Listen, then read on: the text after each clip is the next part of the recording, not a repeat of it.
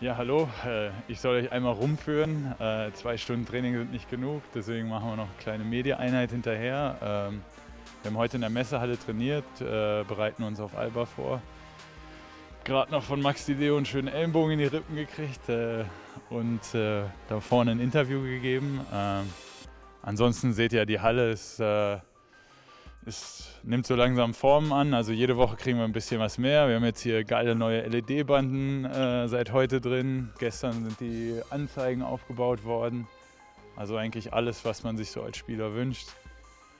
Die drei äh, ja, äh, Spieler, die es noch nicht mitgekriegt haben, die, das Feierabend ist, die äh, rollen sich noch ein bisschen. Äh, wir gehen dann später, da hinten ist unsere neue Kabine. Da müssen wir da hinten durch die Stahltore und äh, haben unseren eigenen Lockerroom. Da steht Gerard Gomilla bestimmt schon unter der Dusche, weil Spanien gleich gegen Amerika spielt. Ähm, ansonsten wünsche ich euch viel Spaß mit den, äh, mit den ganzen Media-Channels, die wir jetzt haben.